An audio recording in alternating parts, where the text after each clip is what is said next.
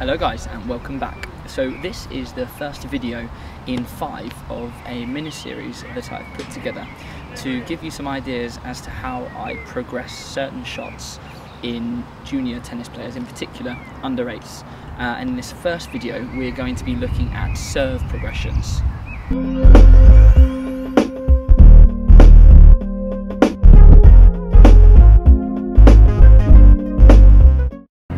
Videos have been designed to help tennis parents and tennis coaches to gain new ideas as to how they can help their children or their players to progress in certain shots.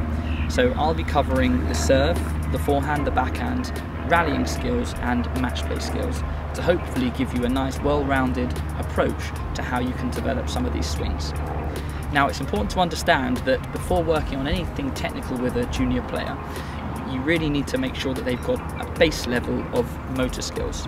Now what I mean by this is it's really important to work on receiving and sending skills. So lots of work on throwing and catching is crucial for a child to be able to track an oncoming ball and that could be done through rolling across the floor to introducing a bounce so that they can read the height and the depth of the ball but also lateral movement too to ensure that this child has a 360 degree approach to their tennis.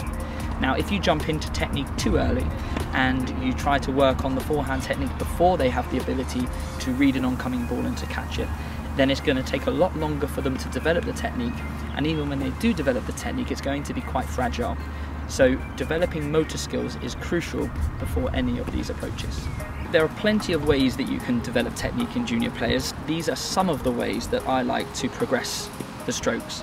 They aren't the only ways and it's important to know that every single junior is different. The way that they learn the, the way that they're built physically and the way that they cope with information mentally too. So although these are quite simple ways of coaching they're not going to work for everybody but hopefully they'll work for most people. So let's get into our first video serve progressions so, as I mentioned before, usually before even putting a racket in the player's hand, we would be doing lots of work using just the tennis ball.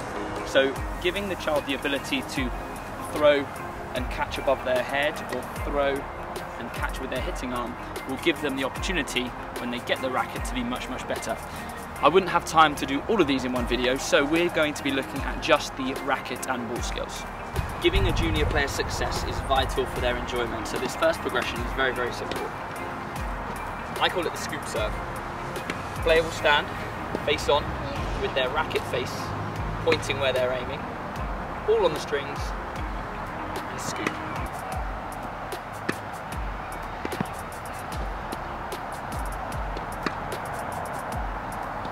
If you can, from this first progression, it's really useful to get your child using the chopper grip.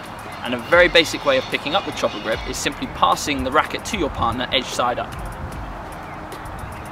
They'll be shaking hands with the racket and this will give them some resemblance of the chopper grip. It might not be perfect, but it will give them a good feel of how that chopper grip should feel. The next progression, you can see I put the line sideways on. So we want our players choose each side of the line and I call this one pop and push. So basically you're going to get your player holding strings forwards again, tennis ball out in front, they're going to pop the ball up and push the ball forward. So pop and push. A good teaching point for this one is to make sure that they finish with a tip stance, so they're turning their hips to face the court. Go again, pop, and push.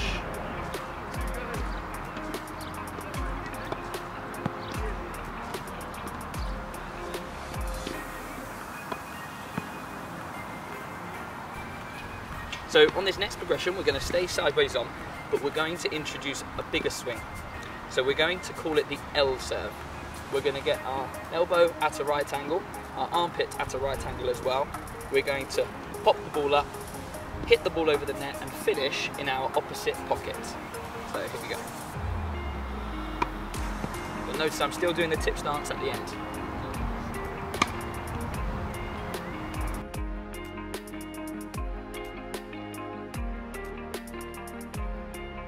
L shape, pop, and hit. One more.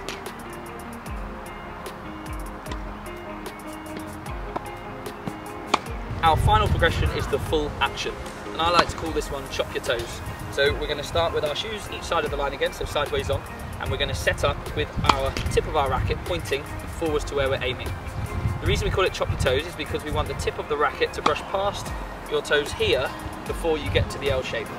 Now an in-between progression that may help players to find the coordination chain is starting in the setup, chop your toes, L, throw, and hit. Once they get used to that motion of one, two, three, you can then make it into one action. So it will look more like this. Still looking for that tip stance at the end. One more.